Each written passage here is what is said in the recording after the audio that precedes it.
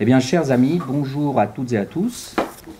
Je suis vraiment euh, très heureux, honoré, ému même de, un petit peu euh, de manière imprévue, d'avoir le, plaisir de présenter deux invités de marque que nous accueillons aujourd'hui à, Climat et à, Bordeaux-Montaigne. en la personne d'Anne-Marie Miller-Blaise et de Jean-Michel Desprats.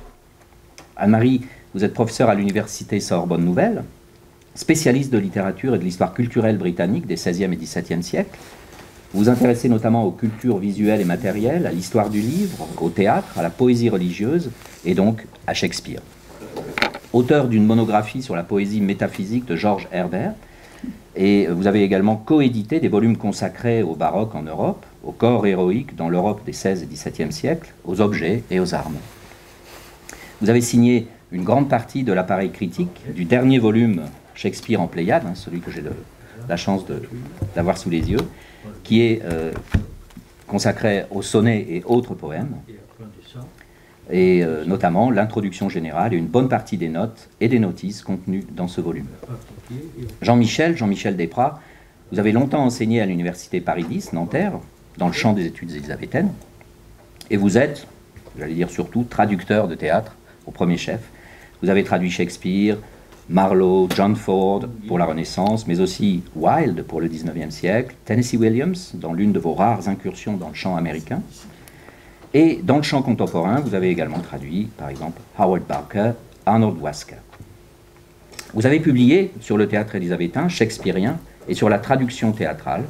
Vous avez du reste cofondé la maison Antoine Vitesse à Montpellier, qui promeut la traduction théâtrale.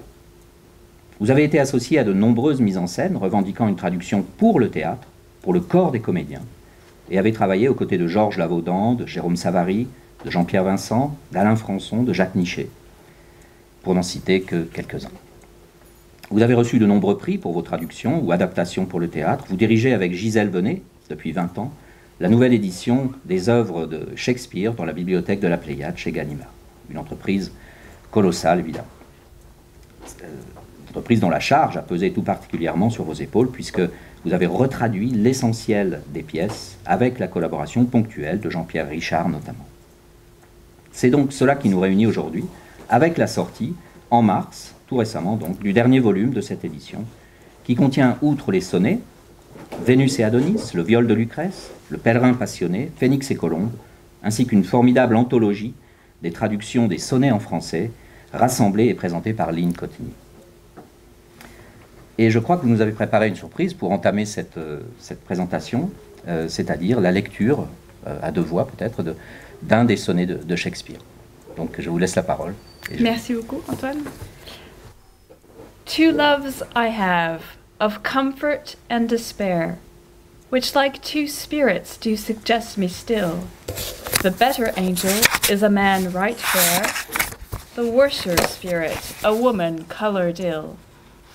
To win me soon to hell, my female evil tempteth my better angel from my side, and would corrupt my saint to be a devil, wooing his purity with her foul pride. And whether that my angel be turned fiend, suspect I may, yet not directly tell, but being both from me, both to each friend, I guess one angel in another's hell. Yet this shall I ne'er know, but live in doubt till my bad angel fire my good one out. J'ai deux amours.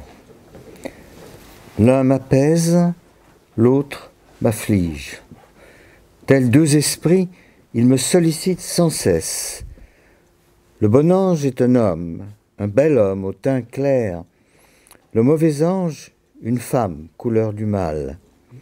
Pour me dépêcher en enfer, mon démon féminin incite mon bel ange à s'écarter de moi, veut corrompre mon sein afin d'en faire un diable, flattant sa pureté de ses charmes pervers. Mon ange serait-il transformé en démon? Je peux le soupçonner sans pouvoir le montrer, mais tous deux, loin de moi, et tous les deux amis, je suppose qu'un ange est dans l'enfer de l'autre. Jamais je ne saurais, mais vivrai dans le doute jusqu'à ce que le mauvais ait enflammé le bon.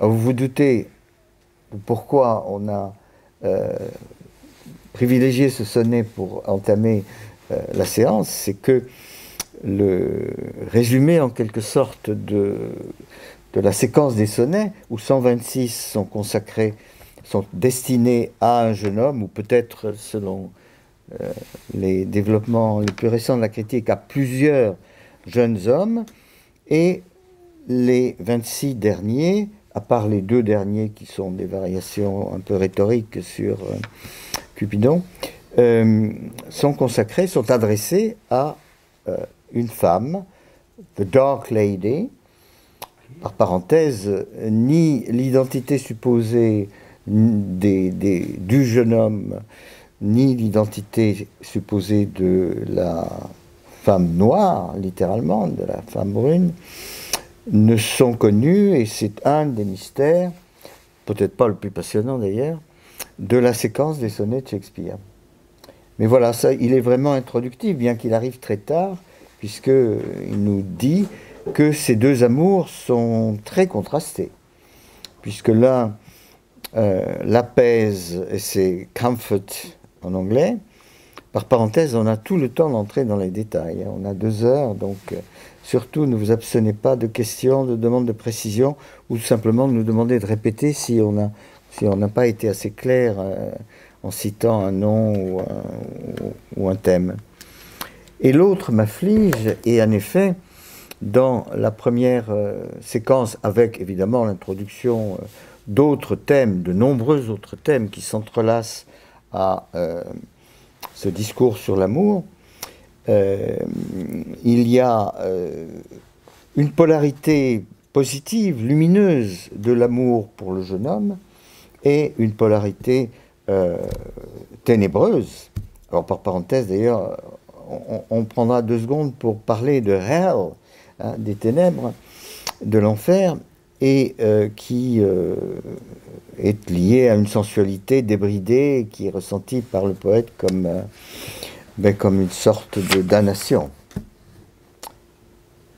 Très bien. Vous avez rappelé cette bonne nouvelle qu'on a, qu'on a du temps. Hein. on a deux heures, presque deux heures complètes maintenant. Donc, effectivement, comme, Jean-Michel l'a suggéré, même si il est traditionnel de, garder une dernière demi-heure, par exemple, pour un échange avec euh, la salle, avec les présents euh, à distance. On peut très bien, je crois que ce serait peut-être même dans l'intérêt de la compréhension fine, hein, euh, intervenir et, demander des précisions. par exemple, Jean-Michel, peut-être vous, voulez d'ores et déjà, avant que je pose des questions un petit peu générales, ou que l'on pose des questions, nous, nous, revenir sur cette notion de, hell. oui. Je vais laisser Anne-Marie. Avec plaisir.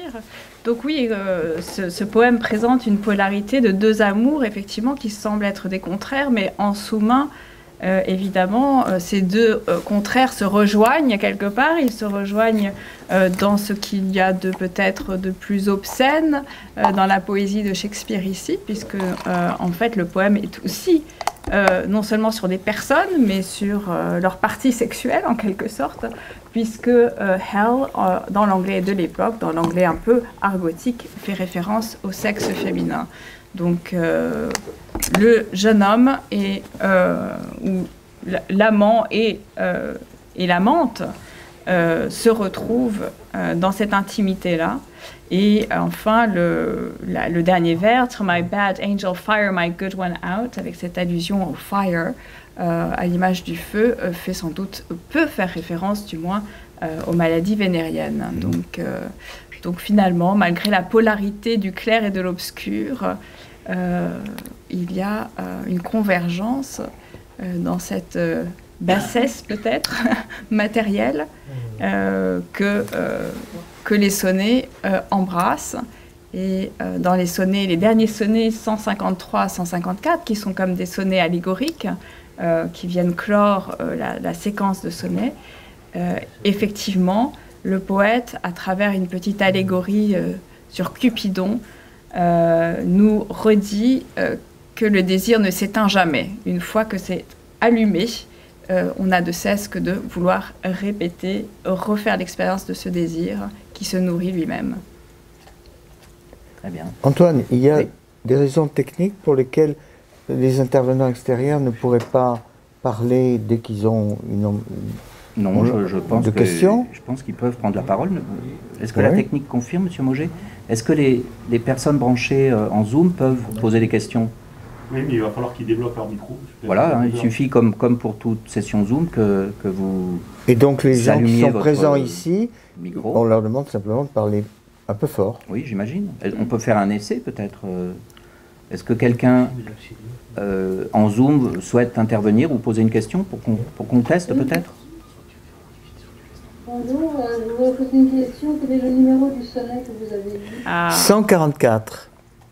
144. Merci pour votre question qui nous permet de vérifier que, que ça marche effectivement. Merci beaucoup. Et, et, donc, voilà, c'était un petit peu l'introduction de cette présentation avec un exemple, un exemple euh, parfait de, voilà, de la richesse et de, de, la beauté, de la complexité de ces sonnets. Hein. Et, et, donc, peut-être une question pour Anne-Marie, pour commencer. Est-ce que ce sonnet shakespearien est, euh, comme on vient d'en avoir une illustration, est-ce qu'il est, spécifique Est-ce qu'il a des spécificités vraiment qui lui sont propres par rapport aux d'autres modèles de sonnets, pétrarchistes ou autres?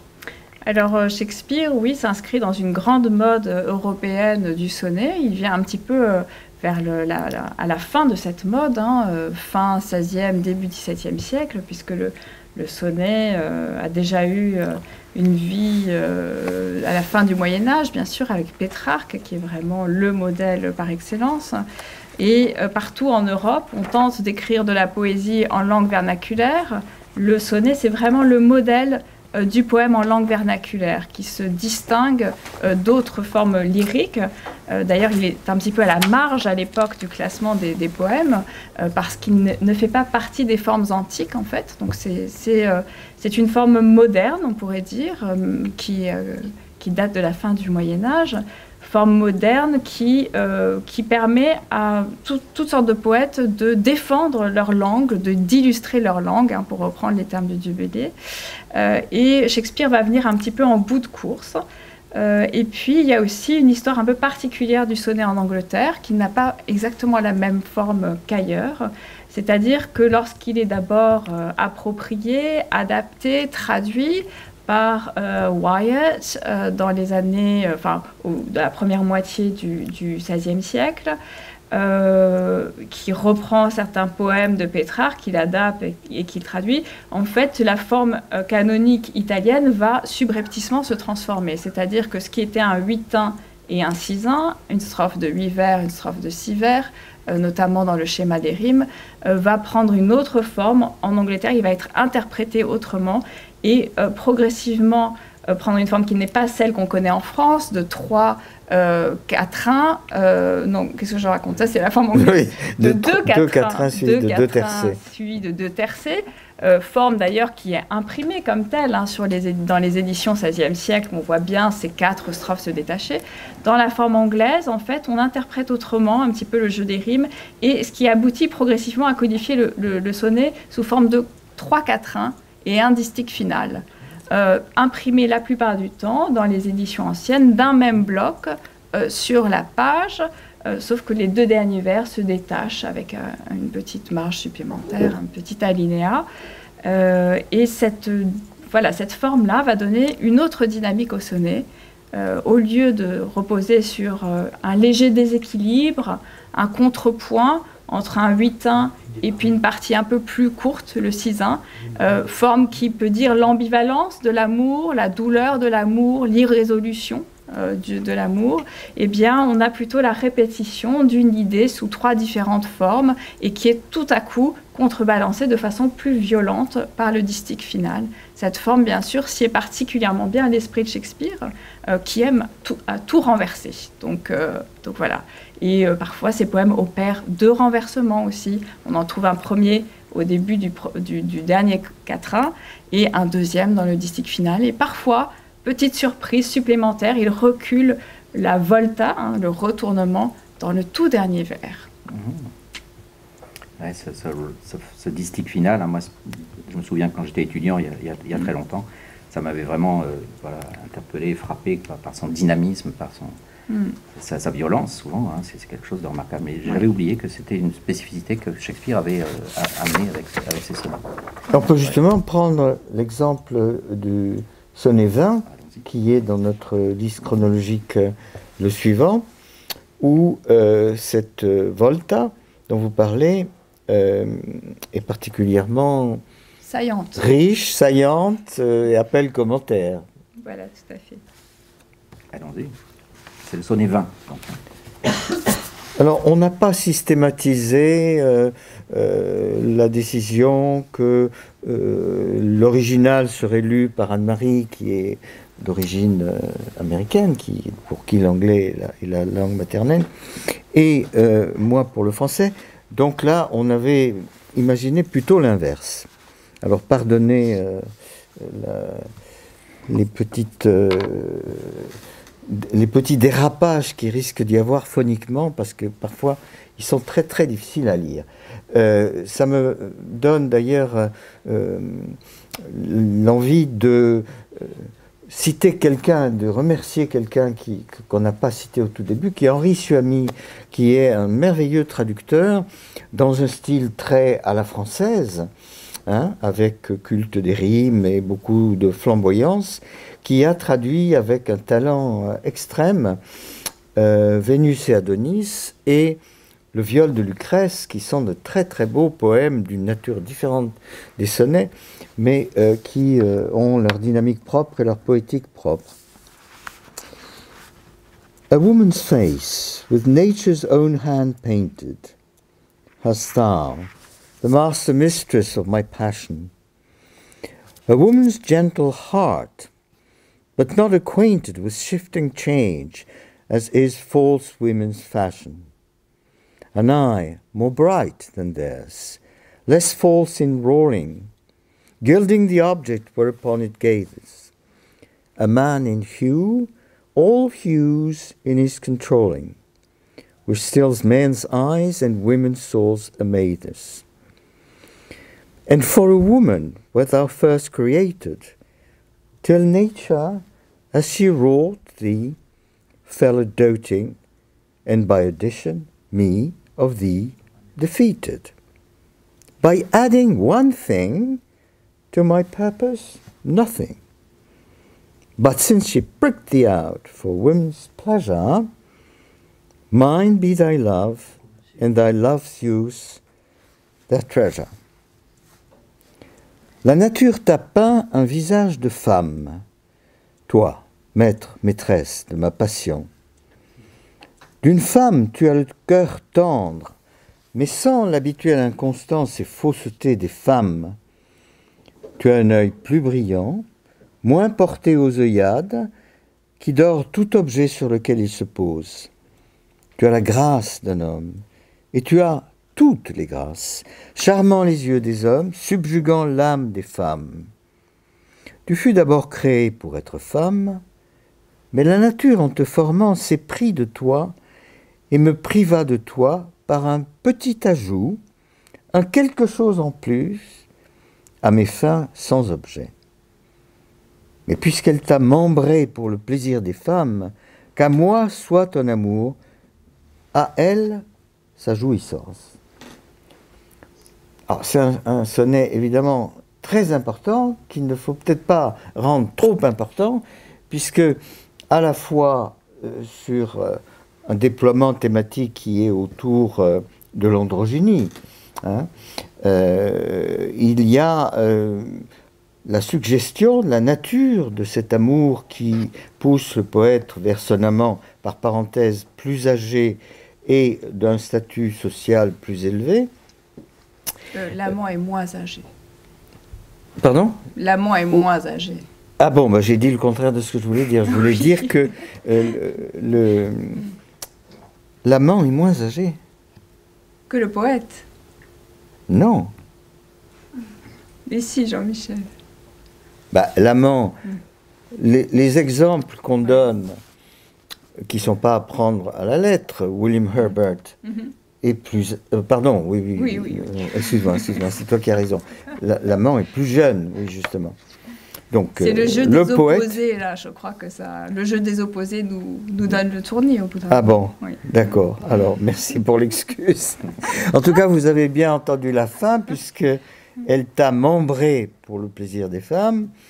Euh, to prick, c'est évidemment euh, désigné, mais enfin, euh, vous, les premières choses qu'on apprend quand on apprend une langue étrangère, c'est things not to say. Donc tout le monde a compris quelle était euh, la désignation implicite, euh, explicite du prick. Alors évidemment, c'est très mystérieux puisque euh, est exclue la dimension sexuelle de, de ce lien homo-érotique, de ce lien d'amour. Mais quand je pensais à la complexité, je pensais surtout aux commentaires que tu, que tu vas nous rappeler du dernier vers. Qu'à moi soit ton amour, à elle sa jouissance, et également on va tout de suite de plein pied être avec le thème de euh, ce qu'il y a de défectivité, dit Berman dans la traduction, dans toute traduction, c'est que on ne peut pas traduire deux ou trois sens. Et euh, les sonnets de Shakespeare sont gorgés de polysémie. hein. Donc là, euh, j'ai traduit d'une certaine manière qui referme le sens, parce qu'on ne peut pas traduire les deux sens. Mais Anne-Marie va nous le rappeler. Oui, donc les deux sens dans ce poème, euh, comme euh, le disait Jean-Michel, qui est sur l'androgynie, qui est sur euh, la beauté de ce jeune homme qui a été fait homme par la nature, qui le jalouse, qui veut garder ce qui aurait dû être une femme pour elle, sous la forme d'un homme, donc, effectivement, semble re- reposer aussi sur une opposition entre amitié masculine, sentiment noble, euh, relation plus platonique, et de l'autre côté, une relation plus incarnée, euh, euh, voilà, une relation que l'on appellerait nous aujourd'hui hétérosexuelle, mais surtout plus incarnée. Mais en réalité, c'est vrai que ce distique final extrêmement puissant, qui retourne la situation.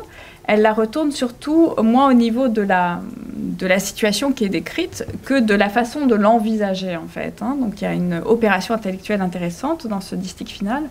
Et euh, Jean-Michel a choisi de, traduire le sens qui s'impose de façon la plus évidente euh, dans la syntaxe, euh, le, le sens qui semble l'emporter. Si l'on regarde de très près le texte, je vais vous relire les deux derniers vers. But since she pricked thee out for women's pleasure, mine be thy love, and thy loves use their treasure. Euh, on a en fait dans l'édition moderne introduit, euh, comme le font tous les éditeurs modernes, l'apostrophe S euh, du génitif, mine be thy love, and thy loves use their treasure. Euh, donc on comprend que euh, euh, les amantes utilisent ce trésor, le mettent en pratique, l'utilisent de façon charnelle. Mais dans l'anglais de Shakespeare, de la période élisabéthaine, on ne fait pas de différence entre l'apostrophe S et le S du pluriel, euh, euh, ou, ou même encore le S du verbe. C'est-à-dire que En clair, il y a une souplesse qui porte Voilà, sur, la nature grammaticale. de. Et alors évidemment, Ouais. on ne peut pas lire avec deux natures Non, grammaticales, voilà, même ça. en anglais. Soit on lit oui, use comme un verbe, soit on lit use comme un substantif. Voilà. Ce qui Et- change le sens. Et donc le deuxième sens que l'on peut comprendre, euh, c'est que euh, mine be thy love, qu'à moi euh, euh, soit ton amour, et thy loves, un pluriel ici, et tes amours se servent de ton trésor, ce De qui- leur trésor. de leur trésor, ce qui pourrait englober euh, amant et amante, ou amante et amant euh, en même temps. Voilà. Un exemple, et encore très minime, Est-ce que vous pourriez, pardon, relire votre traduction de ce distique, s'il vous plaît? Oui, Oui, mais puisqu'elle t'a membré pour le plaisir des femmes, qu'à moi soit ton amour, à elle sa jouissance. Euh, use, voilà. Alors évidemment, déjà, euh, quand on... Le, verbe en anglais, par rapport au substantif, est moins riche, et moins, est moins polysémique. Puisque use, alors Dieu sait qu'il y a de multiples sens. Euh, il y a une scène dans Le Marchand de Venise où use est lié à usury, qui est le seul terme qui n'est pas employé. Et c'est un des synonymes de, de l'usure, puisque c'est de ça qu'il s'agit, du prêt à intérêt. Donc use a une multitude de sens, le substantif en anglais, et qui évidemment ne peut être rendu en traduction que de façon limitée et canalisée. Mais surtout, ce qu'on ne peut pas faire en français, déjà en anglais c'est très souple, euh, c'est qu'un même mot dans la phrase, on ne peut pas créer une ambiguïté telle qu'il puisse être à la fois substantif et verbe. Donc en fait, c'est deux lectures. C'est pas une même lecture qui peut porter ces deux euh, significations. Ouais, c'est ce qui est fascinant avec, Shakespeare en général, avec ses sonnets peut-être encore plus, c'est- cette polysémie constante qui- qu'on n'a pas à choisir quand on lit en anglais, c'est vrai, mais, mais justement j'aurais une question pour le pour l'artisan, pour l'artiste qui, qui- qui est le Mhm. traducteur que vous êtes.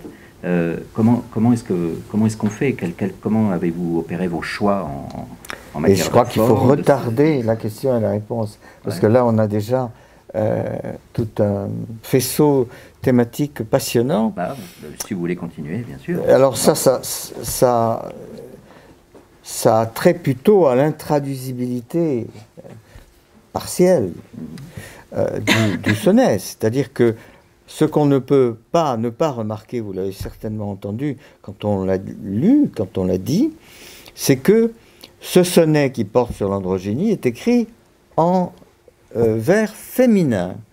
Alors, c'est pas du tout la même chose en anglais et en français, vers féminin. En français, c'est quand il y a le muet, et en anglais, c'est quand le décasyllabe est en fait un indécasyllabe. Quand il y a une petite syllabe supplémentaire qui est avalée ou qui est un temps faible dans la diction. Exemple le plus, le plus glorieux, si je puis dire, le plus connu de tout l'univers. Euh, to be or not to be, that is the question. Le tsun euh, fait qu'on pourrait très bien avoir un vers qui soit to be or not to be, that is the quest. Le décasyllabe est complet. Donc avec l'endécasyllabe, on a le tsun de question.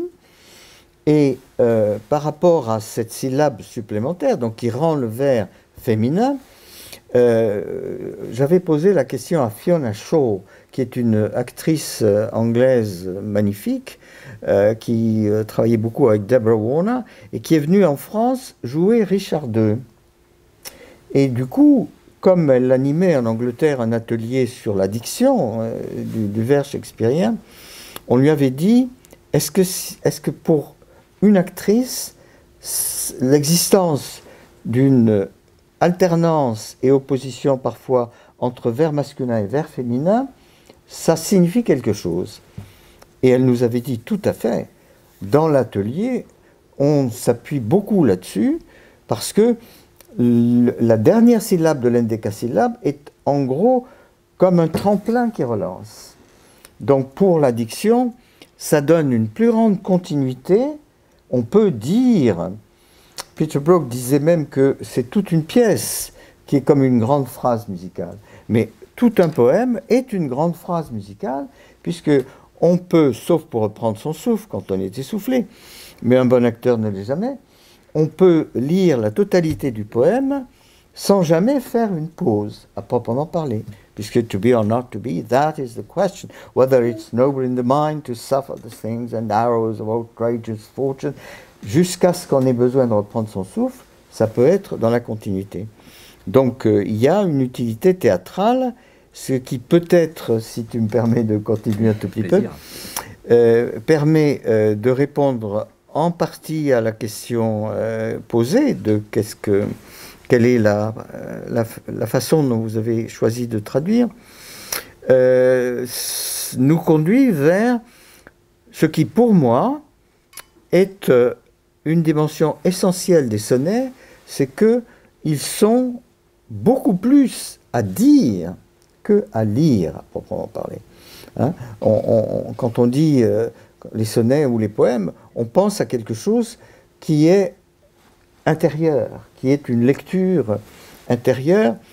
Et euh, quand j'ai réfléchi à la question, évidemment centrale, pour quelle est la différence entre traduire des pièces de théâtre et traduire des poèmes, eh bien, je me suis dit, il y a une partie de la réponse qui est forcément qu'il y a plein de parentés et que c'est pas du tout opposé, euh, sauf quand le traducteur traduit pour la lecture, comme François Victor Hugo par exemple. Et que donc il y a une oralité du poème, et il y a même, vous l'avez entendu, on, va en lire d'autres, donc on en aura, il y a même toute une dimension qu'on ne perçoit qu'avec la voix, qu'avec les chemins de la voix et la structuration que propose la voix.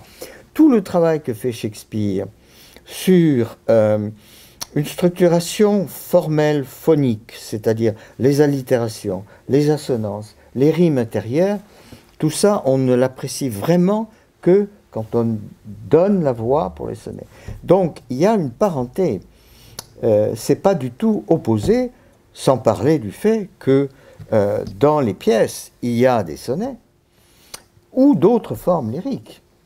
Hein, il y a des sonnets dans Roméo et Juliette, les deux premiers chœurs, euh, ce sont des sonnets, et l'invention théâtrale de Shakespeare, c'est de faire que le troisième sonnet soit dit par les deux interlocuteurs.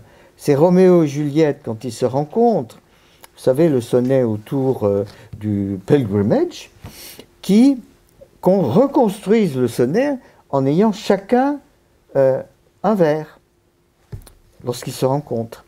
Alors donc il n'y a pas du tout contradiction.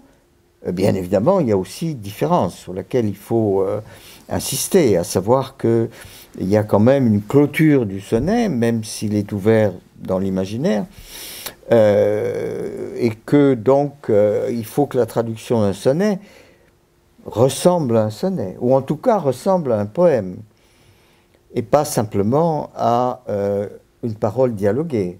D'ailleurs, certains, on pourrait les, dire en dialogue, hein, et on pourrait les dire à deux voix. Enfin, voilà pour une partie de la réponse, et euh, je vous laisse.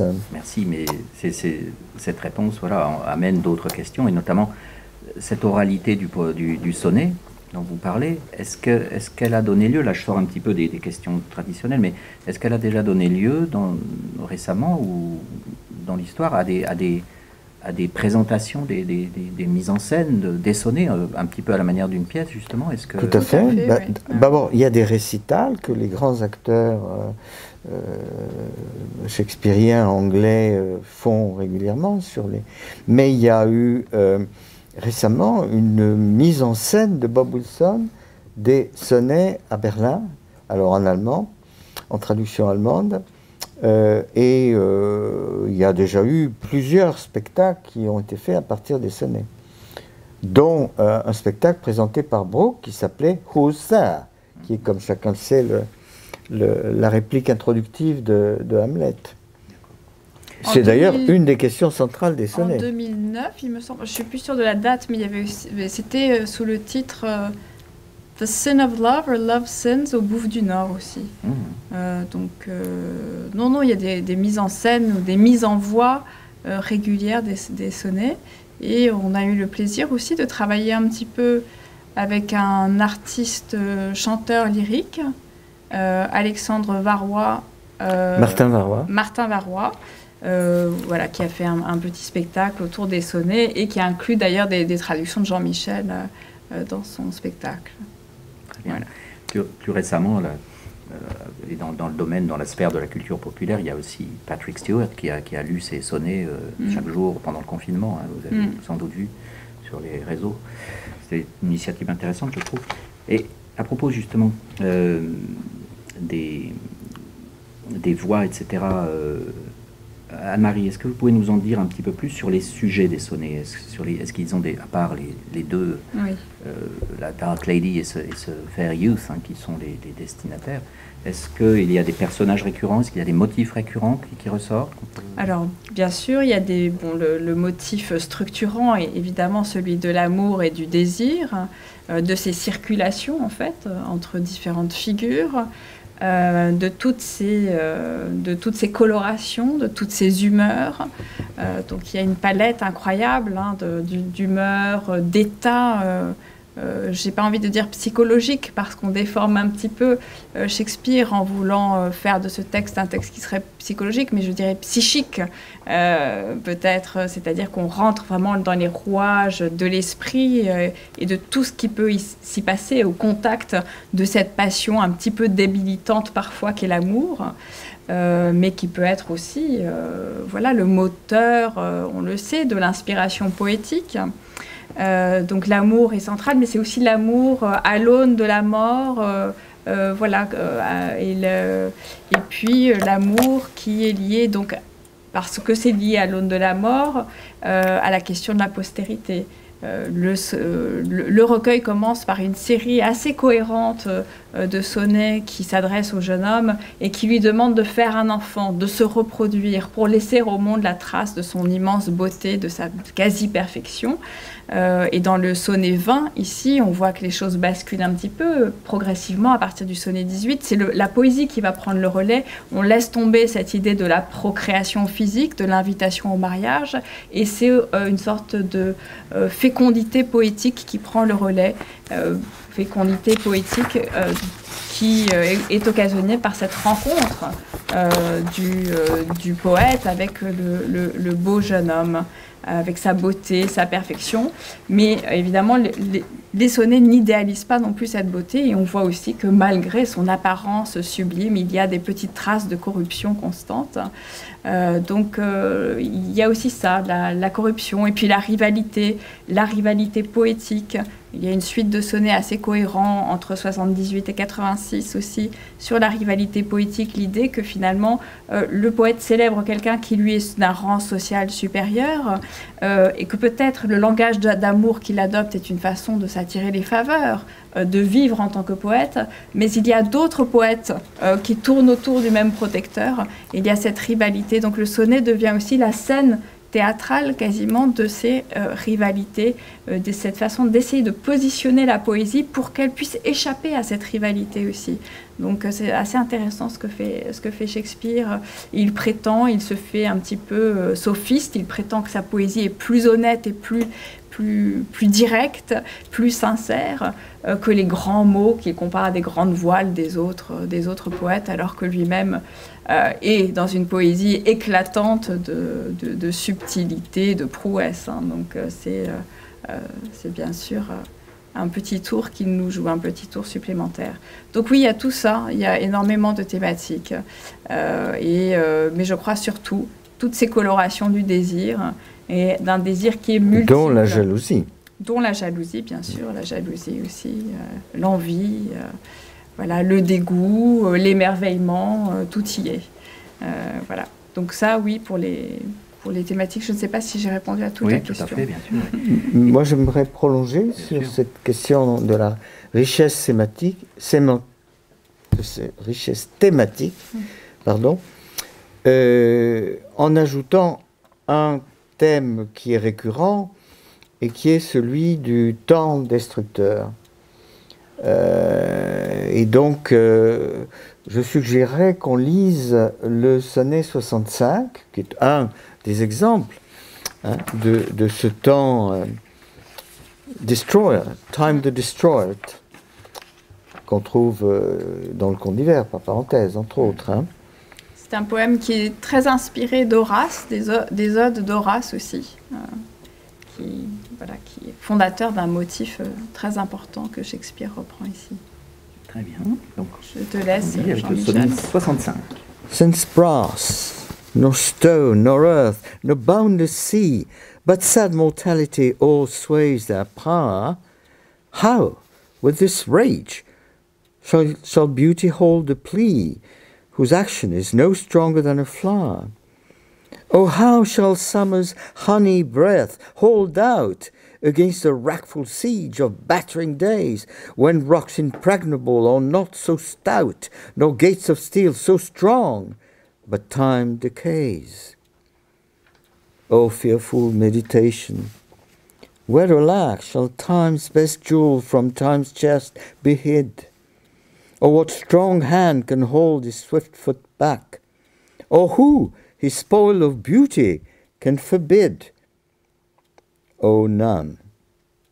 Unless this miracle of might, that in black ink my love may still shine bright. Entre parenthèses, le retournement dans le distique final, alors voilà un exemple particulièrement euh, concret. S'il n'est bronze ni pierre, terre ou mer infinie, dont la fatale mort ne ruine la puissance, contre tant de fureur, comment pourra plaider la beauté dont l'action est frêle comme une fleur? Comment le souffle de miel de l'été soutiendra-t-il le siège destructeur des jours qui le pilonnent, quand les rocs imprenables ou les grilles d'acier ne sont pas assez durs pour résister au temps? Effroyable pensée. Ou, hélas, dérobé au coffret du temps le plus beau de ses joyaux Ou quelle main ferme peut retenir son pied agile? Ou qui peut l'empêcher de piller la beauté? Oh, nul. Hormis si ce miracle se produit quand cette encre noire, mon amour irradie. Ça me laisse sans mots. Alors là, vous voyez euh, la force. Alors j'ai parlé tout à l'heure d'oralité. En fait, le terme plus juste, c'est de vocalité. hein. Comment la voix est structurée par Shakespeare à travers donc cette construction extrêmement savante et en même temps extrêmement concrète quand on, quand on la relaie, quand on la dit, quand on la porte, d'assonance, d'allitération, de rime intérieure. Et euh, voilà. Et alors, quelque part, quand on est dans le même euh, euh, sémanthème, enfin, euh, le Rocks Impregnable, ça, ça, passe très bien en français, par bonheur. Évidemment, la plupart du temps, ça passe pas parce que les mots sont pas sont pas euh, calqués d'une langue à l'autre, puisque surtout l'anglais est une langue double qui est à la fois de racines saxonnes et d'un deuxième niveau, à partir du moment où il y a l'invasion euh, de Guillaume le Conquérant, d'une langue latine. Donc l'anglais, si vous avez remarqué, quand vous ouvrez un dictionnaire bilingue, vous avez les deux tiers du dictionnaire constitués par la partie anglaise et un tiers seulement pour la partie française. Puisqu'en anglais, il y a systématiquement des doublons. Hein, il y a marry et wed, il y a, enfin bon, je ne vais pas rentrer dans ce thème-là parce que ça nous éloignerait, ça nous porterait trop loin, mais c'est une réponse, une deuxième réponse à la question que tu posais, comment avez-vous euh, choisi, procédé? C'est euh, de remplacer les rimes que je n'ai pas cru euh, devoir garder, ou le schéma des rimes encore moins. Tout simplement parce que ça produit un dérapage hein, chaque fois, mais je vais y revenir. On est obligé, quand on veut rimer, d'aller prendre un mot qui est proche, mais qui est quand même un faux sens. Donc on est en constante dérive. Mais de privilégier une autre structure, et c'est là aussi qu'on répond à la question comment faire entendre que c'est un sonnet, que c'est un poème, qui est cette structure euh, que j'ai voulu évidemment euh, constamment présente, la structure sonore, ce qui porte la voix, tout ce jeu justement, euh, pardon de le dire pour la troisième fois, mais d'allitération, d'assonance, de rime intérieure, qui remplace euh, la rime absente. Alors donc, je m'explique euh, de manière totalement explicite sur la rime. J'ai eu comme collègue que j'admirais beaucoup, quelqu'un qui a traduit les sonnets pour la première Pléiade, qui est Jean Fusier, et qui a fait cet exploit de traduire tout en vers rimés, et même en suivant le schéma des rimes. Bon, euh, très honnêtement, c'est pas parce que les fils ou petits-fils rejettent les pères ou les grands-pères, mais j'ai pris le, le parti inverse. Tout simplement parce qu'il me semble que c'est un piège et que c'est totalement meurtrier de traduire en rime. Euh, par parenthèse, le statut de la rime n'est pas le même en anglais et en français. On sait qu'en anglais, elle est très souvent d'ordre comique. D'ailleurs, euh, les, Anglais traduisent souvent euh, le théâtre français en alexandrin en penta- pentamètre iambique, c'est-à-dire le pentamètre iambique, sauf dans les sonnets et les fins de scène, ne riment pas. le blank verse, comme on sait, le vers non rimé. Donc il me semble que choisir les rimes, c'est forcément produire un texte éloigné du texte de départ, du point de vue du sémantisme. Or, ayant la chance de travailler avec Anne-Marie, euh, qui justement, parce qu'elle perçoit l'anglais dans ses sonorités et donc dans sa pensée, m'a incité à changer l'exégèse, la glose, et à prendre euh, des, enfin des, voilà, des explications, des analyses souvent très éloignées de celles qu'on trouve d'habitude. Et donc sur, sur la rime, euh, je pense que c'est un choix dangereux. Et personnellement, euh, j'ai une grande réticence devant ces traductions à la française rimées, parce qu'à mon avis, elles mobilisent toute l'attention sur la rime, plus encore qu'en anglais, et surtout, on perd la pensée. Voilà, c'est ça. Donc ce que m'a appris, entre autres choses majeures, Anne-Marie, c'est que un sonnet, c'est une pensée, ou c'est même une multitude de pensées articulées.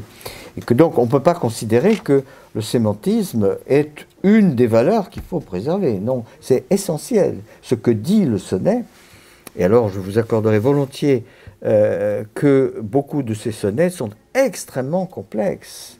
J'ai pas dit compliqués, complexes. La pensée est dense, la rapidité de la pensée dans Shakespeare, dans les pièces aussi, hein, mais est fulgurante, très souvent.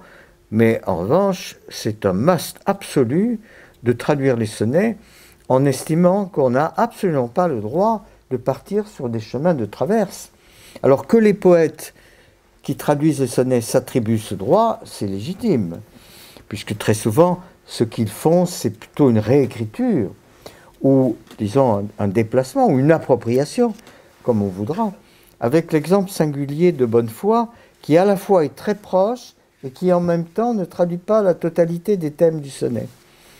Mais sinon, les traductions de poètes, souvent, elles se caractérisent par ça, par le fait qu'on est dans l'appropriation, on n'est plus dans la poétique de Shakespeare et dans la sémantique euh, des textes.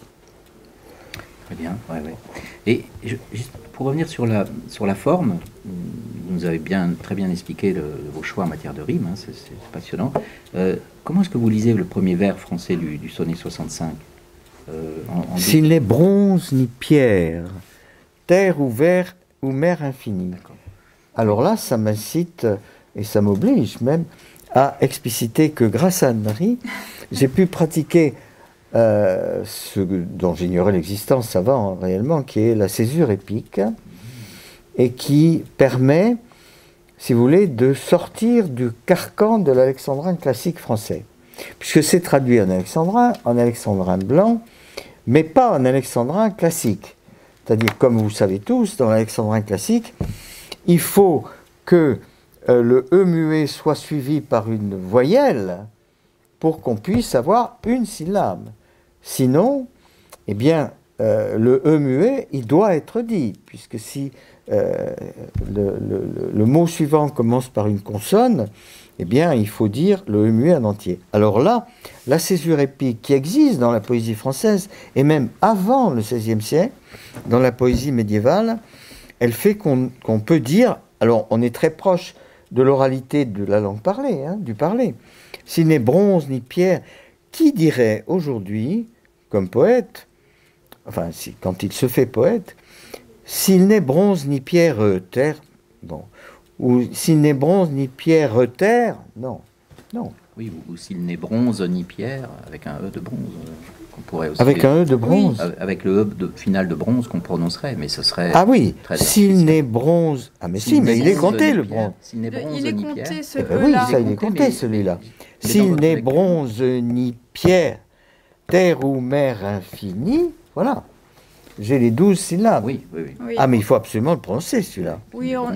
Jean-Michel a gardé les E lorsqu'ils intervenaient à des endroits, euh, enfin les E prononcés, Mhm. lorsqu'ils in- intervenaient à des endroits euh, classiques, c'est à- vraiment à la césure. Et notamment là avec la virgule qui permet euh, l'élision de ce E au milieu du vers et qui fluidifie un petit peu euh, certains alexandrins au lieu de garder des, voilà, des, des E prononcés partout. Mais c'est vraiment... ah, pardon C'est seulement à la césure ou c'est tout simplement parce qu'en fait à vous entendre, Ouais. euh, c'est vrai que j'ai pas vu le texte encore. Ouais. ça, ça donne l'impression d'une sorte d'alexandrin oralisé, donc finalement Oui. euh, beaucoup moins artificiel Oui, c'est euh, ça. on récite une poésie. Quoi. Bah, Bah, je pense qu'il y a les entend, deux. En fait, on entend un rythme, Oui, voilà, c'est-à-dire que plus qu'on ne compte. Oui, exactement. Bah, c'est ce que c'est ce que Jean-Michel a voulu faire et c'est vrai que c'est eux là à la césure qui n'est pas prononcée a été un des outils pour obtenir cela.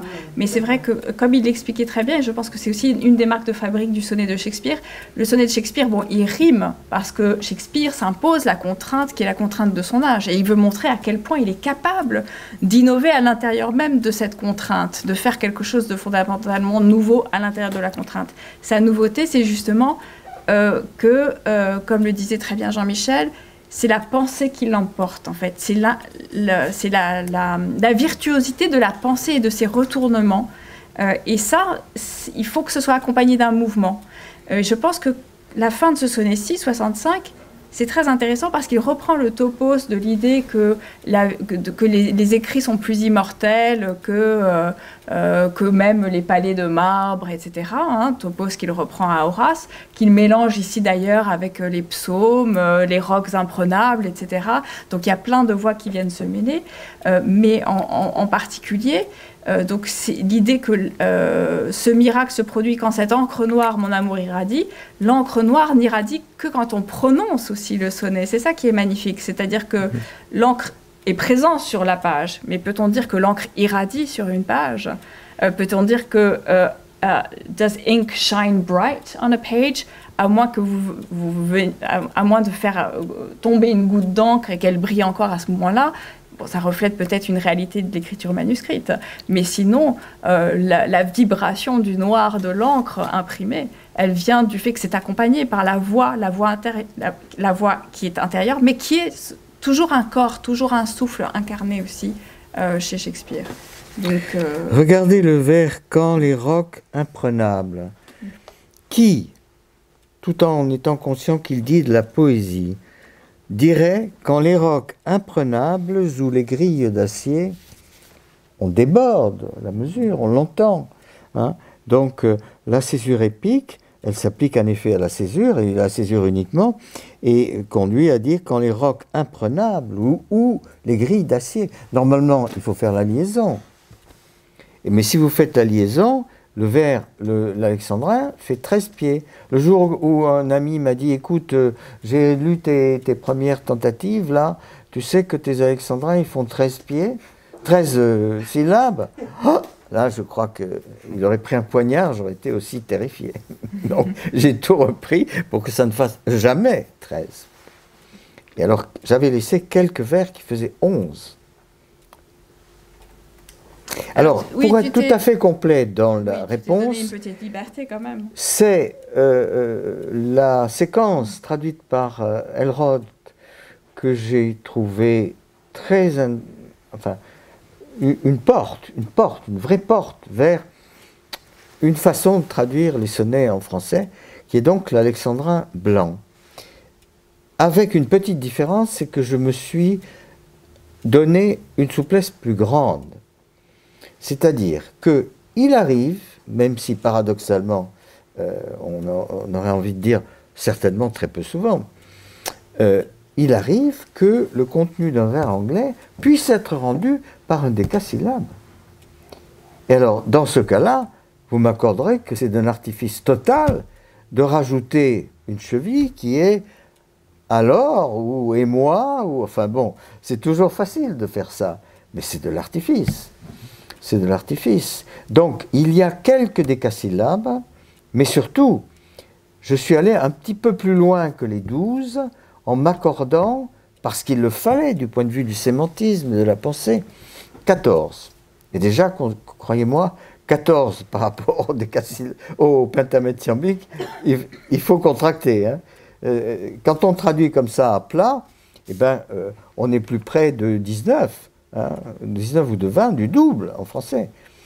Euh, pour une raison très très simple, qui est que tous les mots sont plus longs, puisque la racine de l'anglais, c'est saxon, c'est monosyllabique. Mais concrètement, vous commencez par une version longue que vous, que vous raccourcissez après Non. C'est pour ça que ça a pris tant de temps, c'est que je crois que quand on est devant ça à traduire, il n'y a pas d'étape intermédiaire. il faut cracher le morceau. Après, on revient, euh, pardon pour la métaphore, parce que je ne vais pas la développer, vu que c'est celle du crachat, mais il faut euh, donner une première version qui déjà apporte beaucoup. Alors après, on la retravaille, on la raccourcit, on la rallonge, on la change. On a la chance d'avoir euh, trois collaborateurs qui, une semaine encore avant la remise, vous tannent en disant Oh là, là, on n'a pas pris l'établissement de texte qu'il faut, tout ça. Donc jusqu'au bout, on change. Mais en attendant, on est obligé de tout sortir en même temps. C'est-à-dire, on ne peut pas faire une version explicitation du sémantisme, puis, ah, ben maintenant, il faut que je raccourcisse, parce que là, là on, se, on se donne une durée de travail. Mais le problème, c'est que tout venant en même temps, et une suggestion avec des mots qui, sont sonores, enfin, qui sont, qui, sont une force de frappe, une, une forme de percussion, euh, il faut penser à tout en même temps. Alors le résultat, c'est que certaines après-midi où on n'est pas en super forme, au bout d'une demi-heure, on arrête. Et on ne peut pas aller au-delà de 4 heures de travail. Enfin, moi, je ne peux pas aller au-delà de 4 heures de travail parce que sinon, c'est du, de l'iprane 2000 qu'il faudrait que je, prenne. Non, c'est le mal de tête vous gagne. Moi, je crois pas qu'on peut faire ça par étapes. Mais je crois que c'est vrai que là, c'est l'idée baudelairienne, c'est du sonnet comme forme contrainte qui permet à la pensée de jaillir plus intense. Euh, si on n'est pas immédiatement dans la contrainte au moment de formuler sa traduction, je pense, euh, et on ne peut pas faire jaillir la pensée avec autant euh, d'éclat et de vivacité. Donc, c'est pour ça que une, glose, dans un premier temps, ne peut pas marcher, ne peut pas aider le traducteur, j'ai l'impression.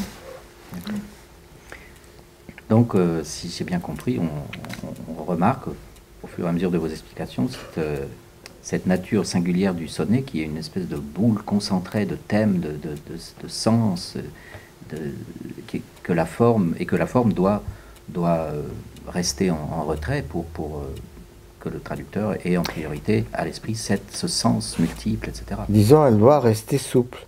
Ouais. Puisque là, moi, je fais bondir les puristes. euh, en faisant des alexandrines de 14 syllabes euh, ou de 10 syllabes, euh, les puristes euh, vont me tomber dessus. Alors, évidemment, euh, c'est pas une réponse complète. C'est-à-dire, après, il faut s'assurer que le rythme global fait que on ne bute pas sur le vers de 14 syllabes. Et des fois, c'est là qu'est le retravail. Je crois qu'il y avait une question. euh, Oui, je suis désolée, en fait, j'ai pas mal de questions, mais je veux pas du tout Oui. monopoliser la parole. hein. Je vous en prie, allez-y. C'est qu'en fait, je trouve, cela dit, que c'est difficile de, de parler de la forme euh, par rapport à, à la question de nos collègues, euh, parce que j'ai l'impression, mais c'est vraiment une oreille non avisée, hein, je suis pas angliciste, que quand même, quand on entend donc ce, ce- ce rythme que vous avez choisi, on a quand même l'impression que, alors euh, moi je suis complètement d'accord avec vous pour cette espèce de compromis incessant que, serait de traduire en rime et qui en fait est un éloignement constant, etc. Mais on a l'impression qu'en fait ce choix d'un alexandrin un peu oralisé, bah, finalement ça rapproche celui qui entend de quelque chose qui serait une langue avec peut-être, il n'y a pas d'accent tonique en français, mais on a l'impression que finalement on se rapproche beaucoup plus de, de quelque chose, d'un rythme, que d'un moment où on compte en fait. Enfin, moi je, je sais pas, je, trouve qu'on est toujours gêné en français quand on est obligé de prendre ses doigts et de dire 1, 2, 3, 4, 5, de compter jusqu'à 12 à chaque fois qu'on entend. Sauf si on sait le faire euh, sans utiliser ses mains, euh, si on est très intelligent. Euh, mais en fait, à entendre là, moi je, trouve qu'on entendait quelque chose qui ressemblait un peu à une succession de brèves et de longues, alors que ça n'existe pas vraiment en français. Enfin, si, il y a quand même des syllabes qu'on accentue plus. Et du coup, ça voudrait dire que d'une certaine façon, ça nous rapproche de quelque chose qui viendrait d'un texte anglais et qui n'existe pas chez nous. Enfin, je sais pas. Vous me faites énormément plaisir. Non, je, je n'ai pas lu, j'ai juste entendu ce que Ah vous ben dites. oui, ben c'est c'est quand même l'épreuve. Je trouve qu'en fait, on, on s'approche de l'essence, pa- parce que moi je trouve ça difficile d'expliquer aux étudiants que voilà, dans d'autres langues, on ne s'amuse pas du tout à compter, il y a les accents, enfin qu'il faut pre- prendre en compte toutes ces choses. Les accents toniques qui eux-mêmes sont différents selon les langues, euh, soit qui sont signalés, soit qui ne le sont pas, etc. Et qu'en français, on va plutôt euh, vers la descente, non Quand on parle, je sais pas, est-ce que c'est ça qu'on dit habituellement? Quand on parle français, on descend dans la phrase, alors qu'un espagnol va plutôt monter. Enfin, mais là, je trouve que du coup, on se désintéresse d'une sorte de chiffrage du nombre de syllabes pour entendre plutôt quelque chose qui fait je sais pas. C'est vrai, je pense que non, je pense que comme tu t'es fixé euh, et que ça a été aussi, euh, moi j'ai beaucoup encouragé Jean-Michel à faire ça aussi, mais parce que j'ai vu ça dans ses traductions tout de suite. C'est-à-dire que je l'ai encouragé à, traduire des sonnets qui puissent se dire. Parce que pour moi, c'est ça, c'est le mouvement de la pensée qui est important, en fait, dans les sonnets de Shakespeare. Donc, et le fait qu'on puisse le dire et que c'est le rythme qui l'emporte sur le reste. Et bien, du coup, euh, c'est ça qui, fait que, vraiment, c'est cette traduction-ci en particulier, je pense qu'il faut se la lire à voix haute. Euh, parce qu'elle fait vraiment sens au moment où on, la, où on, la on prononce le sonnet. Et par exemple, dans le sonnet 20, juste pour revenir dessus, euh, on s'en rend pas compte, mais en fait, il y a un décasyllabe euh, au deuxième vers qui marche très bien parce que ça permet de faire une pause sur l'idée euh, maîtresse, si j'ose dire, du poème. La nature t'a peint un visage de femme. Toi, maître maîtresse de ma passion, le toi, maître maîtresse de ma passion, il est plus court. Et donc, il permet de condenser, là, tout d'un coup, l'idée du poème. Mais quand on le lit, je pense que vous l'avez pas remarqué, quand il a été lu à voix haute, que ce vers-là était plus court mais simplement, en fait, il n'est pas plus court puisqu'on prend juste plus de temps pour le dire. Oui, puis c'est deux mots lourds, maître, maîtresse. Faut prendre toute la mesure de ça. Mm. Euh, alors, je ne sais pas si c'est Walter Benjamin, peut-être que j'attribue à tort euh, à Walter Benjamin, euh, mais un traducteur et philosophe de la traduction a suggéré de traduire au profit de la langue traduite et pas au profit de la langue traductrice. Et si je peux me permettre, alors croyez-moi, c'est pas par, c'est parce que j'ai ça dans l'oreille que ça m'a beaucoup aidé. Euh, c'est pas du tout euh, de la présomption, mais j'ai eu comme euh, professeur de traduction Jean Gattegno, hein, et qui me disait, quand on sortait du théâtre de la ville, par exemple, entendre Shakespeare, qui me disait Ce que j'aime dans tes traductions, c'est que j'entends l'anglais en surimpression. Bon. Et c'est ce sans doute ce que je cherche à faire. Euh, mais bien, bien, évidemment, ça veut dire un peu tordre la langue française. C'est ce que je défendais quand je parlais de traduction pour le théâtre. Hein. Faire en sorte de muscler le français, de faire que ce soit jamais, ou le moins possible, d'aller contre la nature du français, qui est, euh, bah, on dit souvent, le français par rapport à l'anglais, c'est une langue syllabique molle. Euh, ce qui n'est pas vrai, puisqu'il y a un accent tonique. Mais enfin, c'est vrai quand même que ce qui différencie, si vous euh, activez une oreille, oreille de musicien, un énoncé en français, un énoncé en français, d'un énoncé en anglais, la même chose, ça va être scandé, immédiatement. Bon, alors évidemment, on ne peut pas aller très loin, euh, ni jusqu'au bout, mais essayer de faire du français une langue un peu accentuelle, un peu plus accentuelle qu'il n'est dans la plupart des énoncés, euh, oui, je crois que c'est tenir compte, c'est une manière de tenir compte de l'inscription du corps dans la langue, hein, de la traduction passant par les corps d'acteurs et en tout cas les voix. Oui, je suis, tout à fait d'accord avec l'intervention de notre, notre ami là. Et, votre réponse voilà, me, me, fait penser à, à, mon deuxième métier de prof de phonologie. Et, et c'est vraiment l'impression qu'on a en lisant vos traductions. On a l'impression que vous avez adapté la phonologie de l'anglais avec des mots français ou plaqué des mots français, ou plaqué c'est pas un joli mot, mais mis des mots français sur, sur une phrase qui phonologiquement obéit à la, mm. à la, à la, au fonctionnement d'une phrase anglaise. C'est-à-dire que c'était un peu le sens de ma question un peu gauche sur bronze, parce que j'avais, euh, dans un premier temps, euh, pris ce, ce vers, s'il n'est bronze ni pierre, euh, terre ah ou mer infinie, vous savez, à la manière un petit peu justement mm. comptable mm. qu'on a souvent en, nous en tant que francophones, alors que vous l'avez lu de manière, vous l'avez lu à l'anglaise d'une certaine façon, comme s'il y avait un accent tonique sur le mot brass, sur le mot stone, sur le mot earth, etc. Et, et, je crois que c'est une des très grandes qualités de, de ces traductions. Ça. Je pense que c'est aussi un autre outil que Jean-Michel a utilisé parce qu'il fait ces choses-là instinctivement, je crois. Donc euh, c'est en le lisant euh, aussi qu'on les voit apparaître. Mais c'est que en fait, un certain nombre de traducteurs se donnent la possibilité de déborder d'un vers sur l'autre, en fait de faire bouger les mots dans le poème pour obtenir le bon nombre de pieds ou pour obtenir la rime au bon endroit. Mais ce que fait Jean-Michel, c'est qu'il traduit vers par vers, vraiment. Et il respecte en fait à peut-être je ne sais pas, peut-être cinq exceptions près dans, les 154 sonnets. Euh, il respecte en fait le sens, l'unité de chaque vers aussi, euh, ce qui fait que ça le conduit naturellement, je crois, à retrouver le rythme dans l'anglais, en fait, parce qu'il ne découpe pas, il ne redécoupe pas la pensée du sonnet autrement. Euh, voilà. Il y a aussi peut-être le fait qu'il soit lui-même angliciste, est-ce que- parce qu'il y, a- il y a des traducteurs de Shakespeare qui, qui ont, qui n'ont pas tous une maîtrise euh, très importante de la langue originale. Et Il y en a même qui, euh, en mai, traduisent de l'allemand, en juin, du latin, en juillet, du grec. Et du russe. il y a du russe même Non, mais moi, je, je trouve que c'est pas possible, ça. alors. Hein, C'est bon. pas évident. On, ne peut quand même euh, traduire que dans l'amour de la langue qu'on traduit. Et, euh, hopefully, dans l'amour du français aussi. Oui, le mot des langues, bien sûr. Enfin, on a un contre-exemple. Euh, Il y a un traducteur breton, euh, Armand Robin, voilà, qui détestait le français. Et qui disait qu'il traduisait par haine du français. Il traduisait des mauvais livres, peut-être, pour dissuader les lecteurs. Une rage.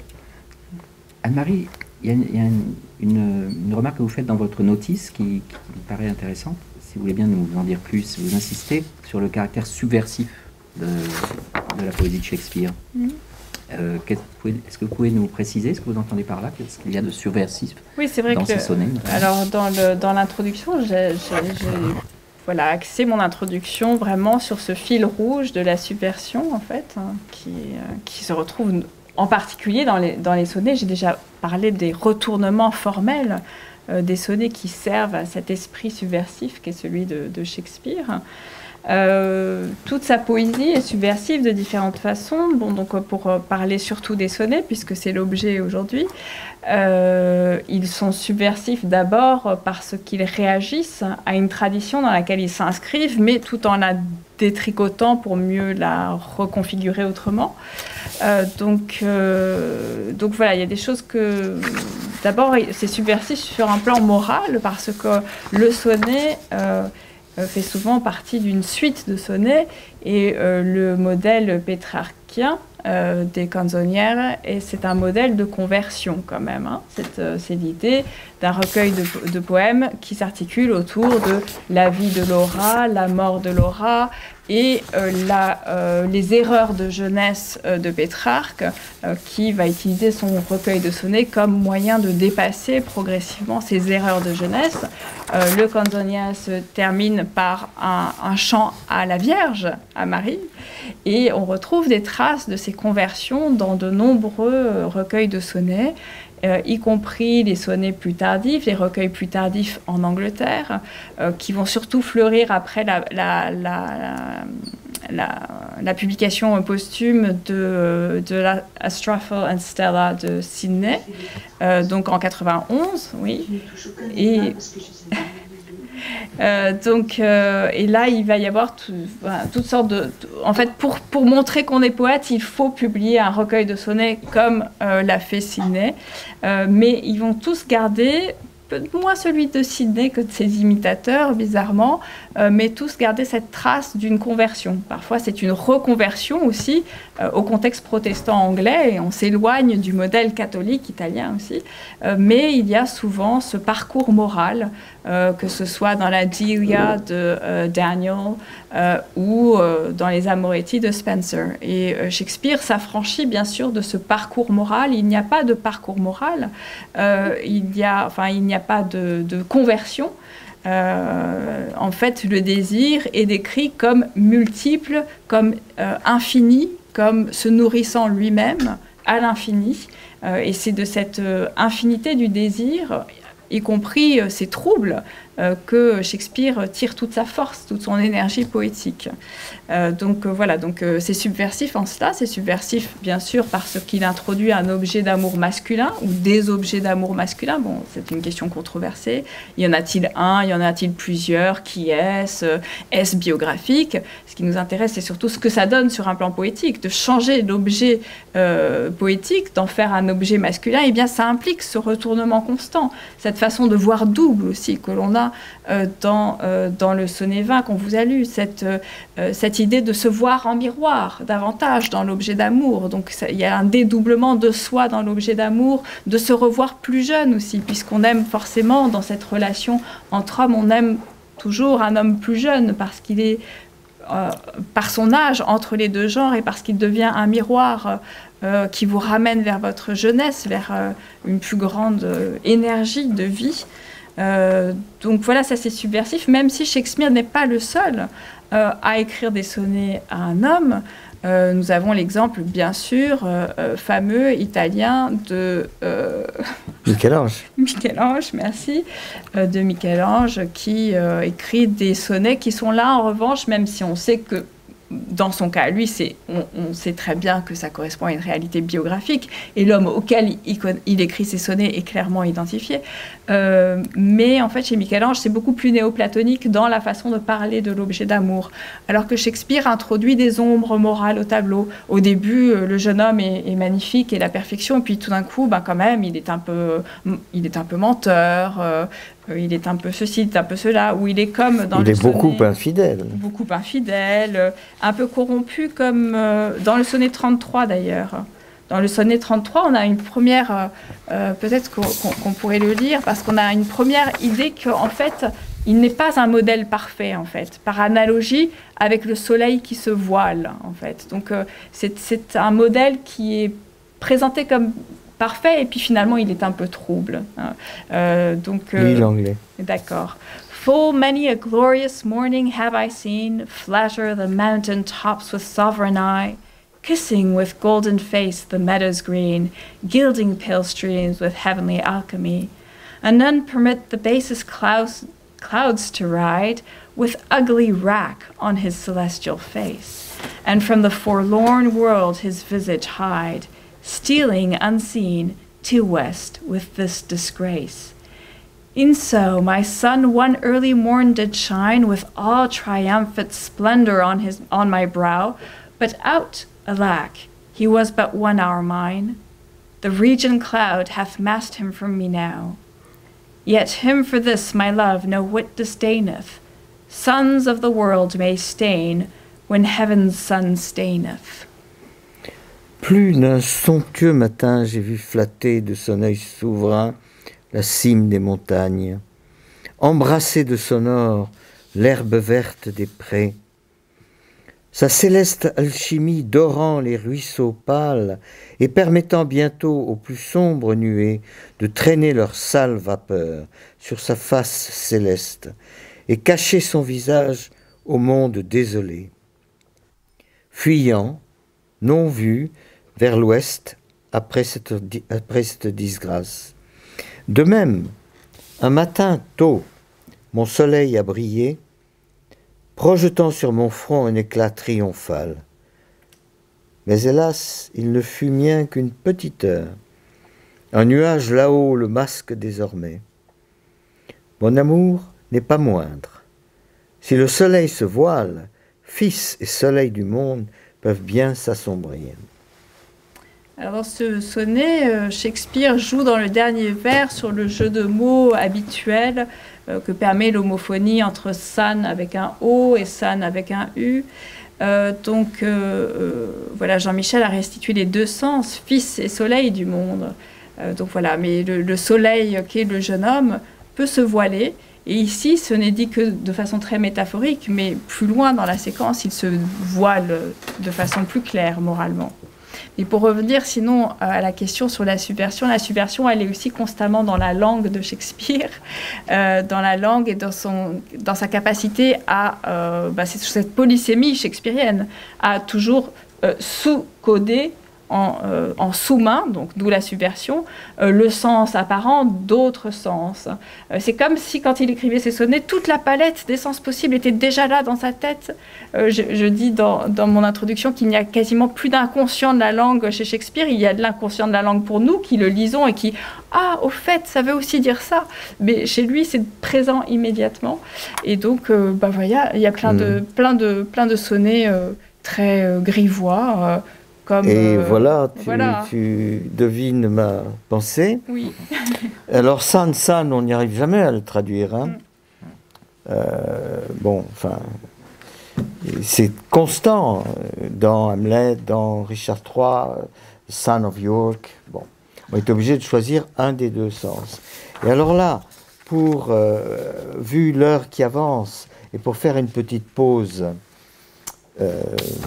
ironique, Euh, le commentaire de Anne-Marie euh, m'incite à vous suggérer qu'on lise et commente le 135 qui est euh, écrit autour d'un rebond du mot will, enfin du prénom will et de tous les sens possibles sauf un de will. Alors, ce 135, quand vous le lisez euh, chez mes collègues euh, Pudibon, vous n'y comprenez rien du tout. Mais rien. Si on traduit la surface, on ne sait pas de quoi il s'agit. Or, quand on essaie de traduire un peu plus précisément, c'est un sonnet où le poète, en forme, si je puis dire, reproche à la Dark Lady de se refuser à lui. Et donc c'est une, euh, une alchimie, un rebond constant de, du mot will qui couvre de nombreux sens, dont le sens sexuel. Donc will dans ce poème veut à certains moments désigner le sexe masculin et le sexe féminin. C'est à la fois le prénom du poète, le prénom du poète rival, Pas du poète rival, mais d'un amant rival. à, à d'un amant rival. Plutôt, oui. On Oui. ne sait pas. Ou, de, ou du beau jeune homme, on ne sait pas. Euh, Mais d'un autre homme, en tous les cas. d'un autre homme, oui. Et donc on va vous le lire en vous ne disant pas tout tout de suite. Whoever hath her wish, thou hast thy will, and will to boot, and will in overplus. More than enough am I, that vex thee still, to thy sweet will making addition thus. Wilt thou, whose will is large and spacious, not once vouchsafe to hide my will in thine? Shall will in others seem right gracious, and in my will no fair acceptance shine? The sea, all water, yet receives rain still, and in abundance addeth to his store. So thou, being rich in will, add to thy will one will of mine to make thy large will more. Let no unkind, no fair beseechers kill. Think all but one, and me in that one will. Chacune a son chacun. Et toi, tu as ton will. Un autre will en plus, un autre vite encore. Je te suffis pourtant, te harcelant sans trêve, comblant ta douce fleur de ma pointe d'amour. Voudras-tu bien, dans ton vaste et spacieux pertuis, me permettre une fois de vivre et me cacher? Quand les autres y ont droit, jouissant de ton oui, il n'y a pour moi aucun espoir, aucun accès. La mer, qui est toute eau, reçoit encore la pluie. Elle ajoute en abondance à ses réserves. Ainsi toi, riche en désir, accepte-moi en toi. Dis-moi oui en ta fleur, pour l'élargir encore. Ne te refuse à aucun assaillant sincère. Eux tous, ils ne font qu'un, et je serai ce will. Voilà. Bon, alors je pense que là, c'est quand même assez explicité pour que la trame nous dise que c'est un petit sonnet coquin, hein, qui dit pour l'essentiel qu'il a envie de faire l'amour avec elle, ou enfin, de, have sex plutôt, euh, avec elle, euh, et que euh, elle se refuse à lui uniquement, alors qu'elle se donne à tous les autres. Il y a des sonnets où c'est beaucoup plus euh, agressif euh, par rapport à la promiscuité sexuelle de cette euh, Dark Lady.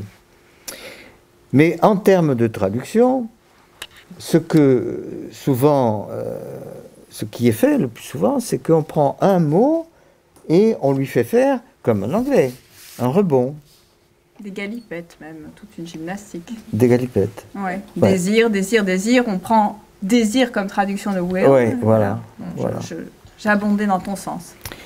Et, et l'oralité est encore apparue à votre lecture, puisque vous avez même mis un petit accent. Oui, sur le alors mot oui. moi j'ai eu le sentiment d'avancer un tout petit peu parce que j'y ai passé un temps infini. hein. Sur celui-là seulement. Euh, quand je me suis rendu compte qu'il y avait un mot qui était en consonance quasi parfaite avec will, c'est oui. Puisque dire oui, bon, euh, voilà.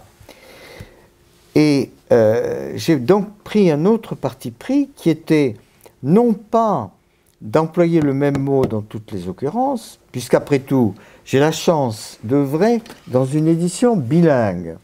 Donc le rebond, on l'a sur la page de gauche.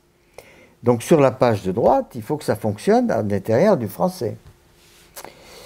Bon, et alors à mon avis, il faut que ça fonctionne, mais qu'on devine. Il ne faut pas qu'on vous la scène. Euh, mon camarade euh, François Larocque a tout à fait raison pour dire il faut enfin quand même traduire le contenu explicite de ce sonnet, le contenu implicite peut-être aussi, et euh, qui le fait avec des mots hum, très crus. Oui. Alors là, moi j'ai fui ça aussi, c'est-à-dire ça n'est pas du tout dans le ton. Will n'est jamais perçu en anglais comme étant obscène. D'ailleurs, il ne l'est que dans ce sonnet. Il n'y a que Shakespeare qui utilise will au sens euh, de phallus, euh, euh, pour ne pas dire de pénis. Et puis bon, enfin c'est très obscène même, puisque il, il incite à la pénétration pour élargir ce qui est décrit dans d'autres sonnets comme la baie où tous les, tous les hommes accostent, tous les navires des hommes accostent. Alors bon, ben, je crois que c'est un peu la voie, on peut en, faire plein de tentatives, mais en tout cas, on se verrouille la possibilité de faire comprendre le sonnet en euh, optant pour le mode de traduction habituel. D'habituel, c'est A, A', enfin A' rend A, A- B' rend B, dans l'homologie, dans l'équivalence. Or là, il me semble qu'il ne faut pas prendre cette même technique, il faut plutôt euh, essayer de faire le même effet en français et en anglais, et en ne reculant pas devant le grivois, mais en reculant tout à fait devant l'obscène. Ça suffit, jusqu'où va Shakespeare. C'est assez euh, clair. Il ne faut pas y rajouter le poids de euh, vagin, euh, vite, bon, vite une fois, mais parce que ça consonne quand même un petit peu avec Will. Oui. Voilà. Alors là, la polysémie est à son comble, si j'ose dire. C'est l'orgasme de la polysémie. On est. J'ai on- on- une oui, question. allez-y, euh, Stéphanie. Euh, dans, dans mon édition, euh, la traduction d'Elroth, euh, certains wills sont en italique et euh, capitalisés, enfin ils ont une majuscule. Oui. Poursuivre l'anglais, C'est pour suivre par l'anglais. fidélité. C'est-à-dire que dans les éditions anciennes, euh, on avait l'habitude de mettre en italique très souvent des mots qui pouvaient faire référence à des personnes pour signaler euh, notamment des valeurs allégoriques. Donc par exemple dans le tout premier sonnet euh, aussi euh, de, la, de la séquence, on a Rose qui est en italique parce que dans l'édition Princeps, parce qu'en en fait on nous suggère que ça peut faire référence à une personne et pas seulement à la rose littérale. Donc là c'est la même chose dans l'édition Princeps, les, les, les, euh, on- c'est repris hein, dans la première édition, les italiques et la majuscule pour nous faire comprendre que ça doit être lu comme un prénom. Euh, c'est le premier sens, mais ce qui n'empêche pas qu'il y ait d'autres sens. Et est-ce que dans, la, dans le passage au français, vous avez conservé ces majuscules? Oui, tout à fait, oui. Oui, oui, on a conservé les majuscules euh, et les italiques. Euh, et donc, ça permet parfois, euh, ils sont conservés sur le mot qui traduit will à chaque fois. Donc, par exemple, au vers euh, 12, dis-moi oui en ta fleur pour l'élargir encore. Même si c'est pas will, même si c'est pas le prénom, on l'a quand même mis en italique à cet endroit-là pour bien appuyer, en fait, finalement, graphiquement, cet effet de répétition sonore, en fait. Est-ce qu'on pourrait dire que, je ne sais pas, je- ça, ça me vient comme ça, euh, Will, il a, il a- il a un peu une valeur euh, d'antonomase avec la majuscule Euh, alors rappelez-moi l'antonomase là dans le dictionnaire des figures, euh, je ne me souviens plus l'antonomase. C'est. c'est, euh, Eh bien, c'est quand on, par un exemple, un Ah oui. document. Oui, oui, oui, oui. Ouais. Oui, oui, si, ça peut avoir une valeur d'antonomase aussi, oui, tout à fait, oui, je suis d'accord avec ça. Je pense que finalement, Will, euh, ça fait peut-être, ça fait, c'est évidemment la signature de l'auteur, mais, euh, mais et il distille Ah, d'ailleurs ce mot un peu partout dans, dans le recueil, hein, parce que c'est sa signature. Donc là, il signe, euh, ça peut être le le vrai prénom de quelqu'un d'autre, peut-être à qui il fait référence de façon. Mais effectivement, il tire comme tout- tous les sonnettistes de cette époque-là. Certains s'inspirent de- de- d'éléments biographiques, d'autres moins. Mais il y a toujours l'idée que ce biographique peut être transformé en quelque chose de, de répercussif, si j'ose dire, qui s'applique à tout le monde. Donc oui, l'antonomase est présente. Finalement, chaque homme devient un will en puissance parce qu'il est entièrement désir sexuel aussi. Donc, euh, Et c'est un exemple unique où l'antonomase s'enrichit d'une érotonomase. Et une dernière question, si je, si je puis. Euh, vous dites que will, en anglais, pouvait aussi désigner le sexe féminin. Alors ça, je, je ne le savais pas en tant qu'angliciste. Oui, oui, non, si, c'est si, que là, hein, il n'y a pas tellement Bon, il n'y a d'exemples. pas énormément d'exemples, mais oui, euh, oui, ça peut désigner le sexe féminin comme le sexe masculin, en fait. À cette époque-là. euh, à cette que- époque-là, oui, Mais précisément. dans oui. d'autres sonnets, comme on l'a vu, c'est hell. Oui. Merci. Merci Stéphanie. Donc ce Will était un, un don juan aussi un petit peu, on peut dire, non? Pour- pour- Ah ben là, il Mais se les- décrit Oh comme, là comme surmembré et constamment en érection. Puisqu'il lui dit Je te suffis. Qu'est-ce que tu vas chercher ailleurs alors que tu as euh, euh, le Rocco Siffredi euh, à disposition? Alors, cela dit, il n'était pas, le seul. C'est quoi C'est les, les, Pibrac, non? Vous connaissez les. Enfin bon, voilà. dans la tradition française, il y a pas mal de. Il y a beaucoup de poésie érotique. Et alors, ce qui est intéressant, c'est qu'à l'époque, on pouvait, quand on voit l'exemple de John Donne aussi, c'est qu'on pouvait très bien être. Voilà, prédicateur à un moment de sa vie, mais écrire des sonnets érotiques à un autre. Donc, euh, Mais c'est vrai que bon, Shakespeare va un peu loin quand même. Vos deux dernières lectures, le 33 et, et le 135, là, nous montrent aussi un, un- un autre aspect des sonnets, c'est-à-dire leur, leur- leur- leur infinie variété. Quoi. Il y a- le 33, moi, il m'avait bizarrement évoqué euh, Arthur Rimbaud. hein. C'est- difficile à expliquer, mais c'est Ah oui? Ou sais, c'était la, la Ah oui. traduction, m'a m'a fait penser au bateau livre. Bon, c'est- c'est sans- ah oui. c'est une remarque comme ça, mais Alors on peut Alors peut-être que- continuer à en lire quelques-uns. Avec grand plaisir, Oui. avec grand plaisir. J'allais justement annoncer que le temps tournait et que nous entrions maintenant dans la période euh, peut-être plus euh, dévolue aux questions, mais euh, l'idéal serait de... Il est, Mais puisqu'on les a commencés, il est quelle heure euh, Il est, je- midi, il est midi 5. Il est midi 5. mais il faut s'arrêter midi et demi, c'est ça? Oui. Alors je suggère qu'on lise le 30, qui est un des plus beaux. Ah, c'est Marcel, Mais- c'est Marcel Proust, ça. c'est- Pas pour des raisons, euh, enfin je veux dire, pédagogiques ou, ou dialectiques, mais parce que, encore que, Sessions of Sweet Silent Thought, hein, euh, c'est pas que dans la traduction, qu'on- enfin c'est c'est Shakespeare qui montre l'exemple. Pour qui sont ces serpents qui sifflent sur vos têtes Là, c'est c'est quand même merveilleux, le, le S. Je me lance? You do. When to the sessions of sweet silent thought I summon up remembrance of things past, I sigh the lack of many a thing I sought, and with old woes new wail my dear time's waste. Then can I drown an eye, unused to flow, for precious friends hid in death's dateless night. and weep afresh love's long since cancelled woe, and moan the expense of many a vanished sight. Then can I grieve at grievances foregone, and heavily from woe to woe tell o'er the sad account of fore bemoaned moan, which I knew pay as if not paid before. But if the while I think on thee, on thee, dear friend, all losses are restored and sorrows end.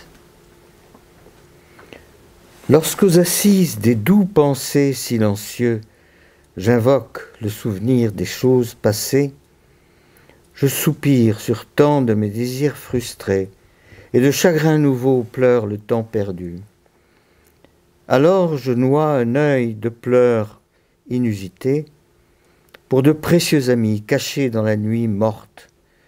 Pleure chagrin d'amour depuis longtemps guéri, et gémis sur la perte de tant d'êtres aimés. Alors je peux souffrir de souffrances anciennes, pesamment répétées de chagrin en chagrin, le triste relevé des plaintes déjà plaintes, pour le payer encore, bien que déjà payé. Mais si alors je pense à toi, mon doux ami, toute perte est comblée, et le chagrin fini. Alors oui, on peut le, d'autant plus, euh, je pense que c'est ça la raison que tu avais en tête, euh, le, célébrer Shakespeare, puisque euh, Proust, puisque The Remembrance of Things Past, c'est le titre qu'avait traduit le premier traducteur, Scott Moncrief. Alors aujourd'hui, ça a été retraduit plus littéralement. c'est plus littéral, mais c'est pas un bon titre. Hein, the, the, loss of things lost. In search of lost time. Bah, il, il, est, il, est, plus littéral, mais enfin, c'est un peu calqué de, de du, du, français. Quand même. In search of. Ouais, enfin bon. Je préférais The Remembrance of Things Past, y compris d'ailleurs la traduction de Moncrief. Et du coup, dans ta traduction, on entend le temps perdu, il y a un, un écho de Proust Oui, oui, oui, oui. Enfin, Time's Waste, c'est quand même difficile de traduire autrement aussi. Hein.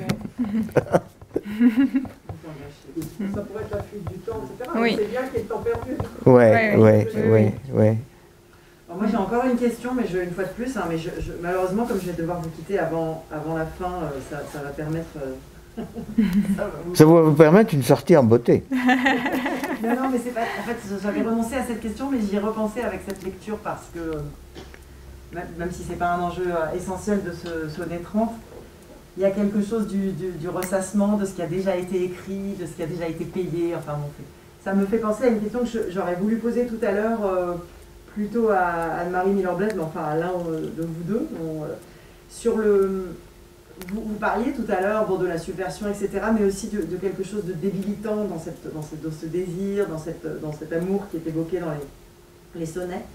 Et je me demandais, et d'un autre côté, vous avez parlé aussi de, de, cette espèce de, pas de fausse modestie, mais une, une sorte de posture d'humilité, de sincérité qui permet d'évincer un peu les rivaux. En fait, je me demandais dans quelle mesure dans les sonnets, et si je pose cette question, c'est parce que j'ai fait cours cette année sur le programme d'agrégation de littérature comparée avec les sonnets de Pasolini, et c'est plus encore que toute cette année, là c'est fou à quel point je comprends beaucoup de Pasolini en vous écoutant, même si bien sûr j'ai beaucoup relu Shakespeare, mais là c'est-à-dire que les, enfin, les emprunts, l'influence est beaucoup plus grande encore que ce que j'imaginais, donc aussi dire aux étudiants de, de relire Shakespeare. Mais je me demandais en fait dans quelle mesure cette euh, ce côté un peu débilitant, cette, capacité à, euh, cette propension au ressassement qui est le propre de l'amoureux, etc., influençait euh, la, conception que le sujet lyrique avait de son propre talent de poète. C'est-à-dire, est-ce qu'il y a chez Shakespeare, c'est aussi parce que j'ai une certaine limite dans ma connaissance de cette idée, d'ailleurs Pasolini cite au début de ses poèmes un vers de Shakespeare, mais qui n'est pas dans les sonnets, qui est quelque chose comme, qui est traduit comme Ô malheur comme tu es bavard, crois que c'est peut-être dans Richard III, enfin je sais pas, je crois que c'est dans le théâtre. Et euh, il évoque souvent, euh, il y a ça un petit peu aussi chez Pétrarque, cette idée qu'il faut aller se cacher dans la forêt parce qu'en fait, on, une forme d'indignité euh, le risque de faire de la mauvaise poésie parce qu'on ne fait que pleurer, etc. Enfin bon, là je, je résume de façon un peu triviale, mais est-ce qu'il y a ça chez Shakespeare, c'est-à-dire ce risque qu'encourt la parole poétique elle-même de devenir un peu médiocre, etc. Alors Mhm. même que vous avez évoqué que très rapidement, voilà, la- ce qui va donner l'éternité au jeune homme n'est plus vraiment le fait qu'il va euh, procréer, mais euh, l'écriture. Et je trouve ça très ambigu finalement. Euh, c'est très ambigu, mais c'est vrai qu'il y a vraiment ça. C'est-à-dire qu'en plus, je pense que Les Sonnets, c'est une œuvre qu'il écrit euh, pas en une fois, pas d'une traite, mais il y revient à de nombreuses reprises. hein. Il y a toutes sortes d'études qui ont été faites, stylométriques, pour essayer de dater tel ou tel sonnet. C'est difficile à faire sur les sonnets, mais, mais il a un rapport compliqué au sonnet et c'est pas étonnant qu'il le publie tard parce qu'il publie lui après la vague de la mode des sonnets. Il arrive en retard en 1609. Il est, il est en retard de 10 ans en fait. Tous les autres ont, publié leur, euh, leur recueil de sonnets euh, 10 ans, 10 ans plus tôt. Euh, et euh, dans ses pièces de théâtre, comme euh, Peine, Peine, euh, Peine d'amour perdu, en fait, euh, euh, 1580 combien 14 à peu près, je sais plus exactement. Enfin bref, Euh, donc euh, ils se moquent des sonnettistes, ils sont ridicules. Euh, donc le, le sonnet, c'est quelque chose que j'écris aussi dans l'introduction, c'est c'est une forme piégée. C'est une forme piégée et, et pour Shakespeare, c'est comment vais-je me l'approprier en déjouant le piège en fait. Parce que si j'écris des sonnets, je vais être comme Biron, je vais être comme euh, voilà les, les hommes ridicules de, de Love's Labour's Lost, parce qu'effectivement on s'expose toujours, c'est la bile noire, c'est le, le déferlement de cette, euh, de cette humeur euh, assez ridicule. Donc, euh, donc il y a vraiment ça. Et en fait, je pense que tous ces sonnets, une raison pour lesquelles moi je pense qu'il ne les publie pas plus tôt, c'est parce qu'il y a une sorte de combat aussi du poète avec lui-même pour trouver le moyen de faire en sorte que ces moyens, que ces poèmes puissent devenir vraiment le lieu. Euh, donc je pense qu'il y a ce... euh, voilà, c'est-à-dire que c'est comment, comment construire mon propre monument euh, en utilisant une forme dans laquelle on s'expose en fait, euh, en partie. Et il y a cette- un effort d'autonomisation de la poésie. Euh, et, et- et le jeu de la sin- sincérité, ça fait partie de ça, même si ça c'est aussi un topos en fait qu'il réinvestit. Mais je pense que il arrive quand même à, décrocher en quelque sorte, euh, à décrocher le, hum, à décrocher le sonnet de son modèle, de son protecteur, parce que les sonnets sont aussi écrits dans une logique de, célébration, de protecteur, etc. Euh, et il, a, il y a quand même un tour de force, c'est-à-dire qu'il arrive quand même à faire du centre du recueil sa propre inspiration poétique et non plus le jeune homme, qui est une sorte de double dans son inspiration poétique, mais finalement, euh, le jeune homme n'est jamais nommé. Et, ce qui reste sur la page, c'est bien le sonnet de Shakespeare. Donc, euh, euh, mais voilà, mais surtout, il arrive à, s'affranchir de, certains codes, de certains codes sociaux de la, protection. Et le fait qu'il, que aussi que ces sonnets soient publiés, on ne sait pas tr- très bien si c'est piraté, pas piraté. Enfin, il y a une dédicace mystérieuse, mais ils ne sont pas accompagnés en tous les cas d'une dédicace de Shakespeare à un protecteur, contrairement à ses autres poèmes. Donc ils sont affranchis de ça aussi. Merci beaucoup. Merci Anne-Marie. Euh, vous parliez du, du côté ridicule, enfin, ou du fait que dans Love's Labour's Lost, les, les- les sonnets ou les poètes sont ridiculisés. Qu'est-ce qu'on connaît de la, réception contemporaine des sonnets, contemporaine et, par la suite euh, Alors, il y a un instrument de réception, euh, de première réception des sonnets, qui est, euh, ce petit volume piraté du Pèlerin Passionnier, qui ne comporte en fait que cinq sonnets de Shakespeare euh, et qui comporte 15 poèmes de, différents poètes que, le, que cet éditeur euh, très très peu scrupuleux qu'est William Jaggard a réunis dans un même, euh, dans un même petit livre et il a fait une sorte de coup poétique en publiant quelque chose qui est, être euh, la suite de Vénus et Adonis, qui a beaucoup, beaucoup de succès. Et dans ce, dans ce recueil-là, en fait, on voit que ont été piratés trois poèmes de Love's Labour's Lost, qui sont introduits dedans. Donc il les, il sort de la pièce de théâtre et il les met dans un recueil de poésie où le poète est censé dire je à la première personne. Donc déjà, en fait, euh, euh, ça c'est Shakespeare piégé au piège qu'il tendait à ses propres personnages, puisque tout d'un coup on lui fait dire je dans ses poèmes. Et puis il y a deux autres sonnets qui sont pris de, la, suite qu'on aura plus tard en 1609. Euh, donc on voit qu'il y a une tentative de lire les sonnets qui circulent que en, privé pendant tout un nombre d'années. Euh, il y a cet intérêt-là et bon, d'un éditeur qui veut capitaliser sur le succès du nom de Shakespeare. Euh, mais ensuite, quand les sonnets eux-mêmes sortent en 1609, ils n'ont pas beaucoup de succès, ils ne sont pas très lus, on trouve très très peu de traces de leur lecture. Hein. Euh, il y a très peu de voilà et les échos vont venir plus tard en fait euh, et notamment lors des guerres civiles parce que ça devient une sorte de, de marque aussi de parce qu'on sait que Charles Ier lit Shakespeare aime Shakespeare donc citer Shakespeare ça devient un peu de façon paradoxale d'ailleurs, euh, une, trace d'allégeance royaliste. Et puis après, les sonnets restent dans l'ombre pendant très longtemps, euh, notamment aussi à cause de leurs ambiguïtés euh, sexuelles, etc., qui sont problématiques pour un lectorat plus tardif. Donc après, il faut attendre, il faut attendre la fin du 18e pour qu'ils soient vraiment remis au goût du jour. Les romantiques les apprécient. Euh, ils vont se reconnaître beaucoup dans, dans, cette poésie-là, moins que dans son théâtre, mais quand même. Euh, mais Coleridge, c'est un, cas très intéressant parce qu'il est assez fasciné par euh, les, sonnets de, Shakespeare, mais il est dérangé aussi, hein, moralement, ça lui pose un problème quand même. Voilà. Et puis après, bon, il y a Oscar Wilde, etc. Hein, donc, qui, oui. Je ne sais pas si on peut avoir une séance de poetry, please, mais quand j'ai entendu euh, votre lecture de la traduction du dernier vers du sonnet 33, à l'oreille, j'avais l'impression d'entendre exactement le même rythme que le vers en anglais du sonnet 94. Lilies that fester smell far worse than weeds. Et le, mm. votre dernier vers en français avait exactement le rythme du vers anglais de ce sonnet. Et je me demandais comment vous aviez traduit le sonnet 94 avec tous ces monosyllabes qui euh, scandent ces premiers vers et qui étudient euh, de manière si sombre le poids du monosyllabe. Mais il n'y a pas que des monosyllabes dans le 94. Euh, mais je pensais au, premier vers parce qu'après ah oui.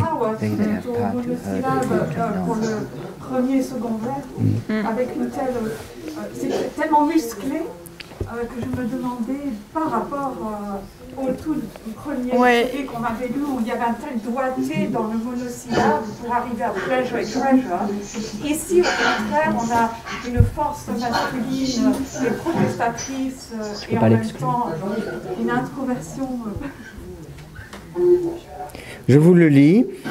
Et alors, c'est un de ceux qui riment parce que quand la rime se, propose, euh, on serait quand même euh, euh, malvenu de la refuser. Donc j'ai rien contre la rime, c'est simplement que j'ai beaucoup contre les torsions que ça implique parfois, la plupart du temps. Alors c'est celui qui commence en anglais par They that have power to hurt and will do none. Ceux qui, ayant le pouvoir de blesser, s'abstiennent et dont les actes contredisent l'apparence, qui bien qu'ils émeuvent autrui restent de pierre, insensibles, froids et lents à la tentation, ceux-là sont dignes héritiers des dons du ciel, sauvant de la dépense les biens de la nature. De leur visage ils sont les seigneurs et les maîtres, les autres des serviteurs de leur excellence. La fleur d'été offre à l'été douce fragrance, bien qu'elle se contente de vivre et de mourir. Mais vienne en cette fleur la vile corruption, la plus vile herbe folle a plus de dignité. Dans les actes, les plus douces choses s'aigrissent, je vous le redis, dans les actes les plus douces choses s'aigrissent, et il n'est pire odeur que des lys qui pourrissent. Alors, il y en a un. Ah ben, la personne est partie, mais peu importe. qu'on pourrait lire, euh, qui a une structure très particulière. C'est le 66. Tout simplement. Ça a coupé. Vous entendez? Oui?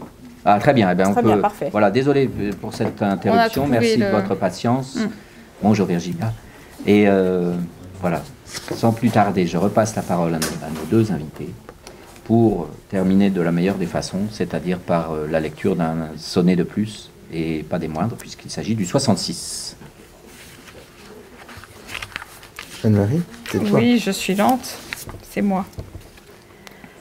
Tired with all these, for restful death I cry, as to behold desert a beggar born, and needy nothing trimmed in jollity, in purest faith unhappily forsworn, in gilded honor shamefully misplaced, in maiden virtue rudely strumpeted, and right perfection wrongfully disgraced, and strength by limping sway disabled, and art made tongue tied by authority, and folly, doctor like, controlling skill, and simple truth mis- miscalled simplicity, and captive good attending captain ill.